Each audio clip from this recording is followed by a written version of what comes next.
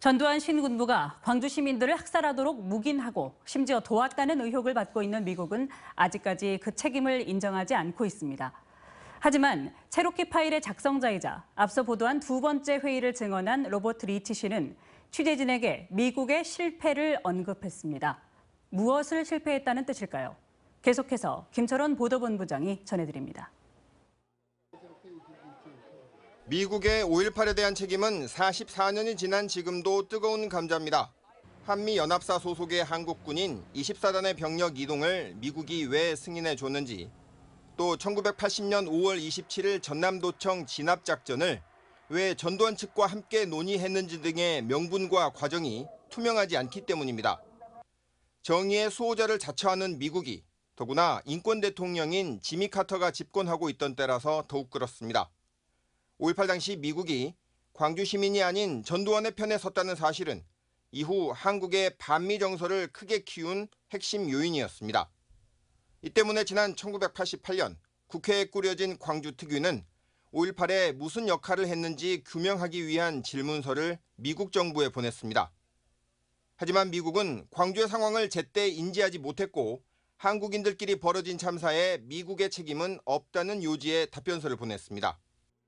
I don't think the United States had any responsibility for Gwangju. I mean, it was a Korean action. Uh, the students who were uh, demonstrating were Koreans, not Americans. The forces that were used against them were Korean, not American. They were. 이 답변서 작성에 관여한 이가 바로 최근 취재진이 미국에서 만난 로버트 리치 당시 미 국무부 한국과장입니다.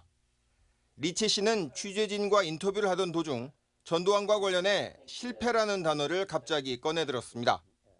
당시 미국이 11.6 이후 한국이 민간 정부가 들어서 안정을 되찾을 때까지 전두환을 억제했어야 했지만 그러지 못했다며 이는 미국의 실패라는 것입니다.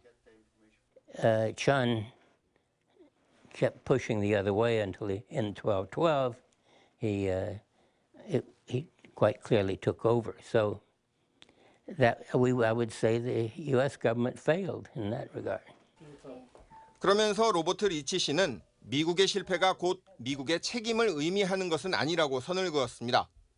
광주 시민들이 미국에 갖는 감정을 이해하고 광주에서의 비극을 안타깝게 생각하지만 그렇다고 미국의 책임이 있는 것은 아니라고 단호하게 말했습니다. But unfortunately, we were not in charge. 광주 학살의 책임이 없다는 미국 정부의 주장은 지난 44년 동안 일관돼 왔고 앞으로도 변할 가능성은 적어 보입니다. 그렇지만 미국 정치인과 관료들의 이런 주장에도 불구하고 의구심이 가시지 않는 데는 분명한 이유가 있습니다. Was it responsible? I think that's something that still is very much debated, but it's it's hard to say. And I, I think no one would argue that the United States has completely zero responsibility, right? Because the United States had so much influence in South Korea at the time. 미국 오바마 대통령이 아르헨티나 대통령과 함께 라플라타 강에 헌화하고 있습니다. 오바마 대통령은 미국이 지난 1976년 쿠데타로 집권한 아르헨티나 군사 정권이 1983년 민주화 전까지 독재 정권에 저항하는 시민들을 납치해 고문하거나 살해한 것을 묵인한 사실을 인정하며 사과했습니다.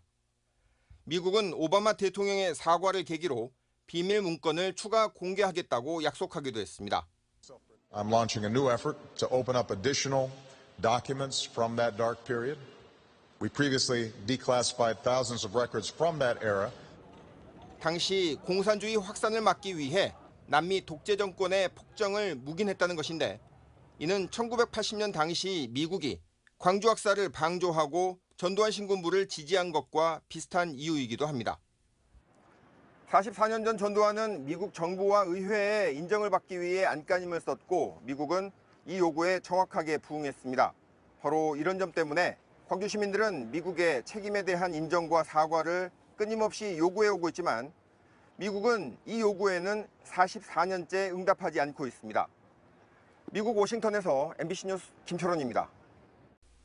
언제 어디서나 내 손 안의 뉴스. 광주 MBC 뉴스 유튜브 구독으로 함께하세요.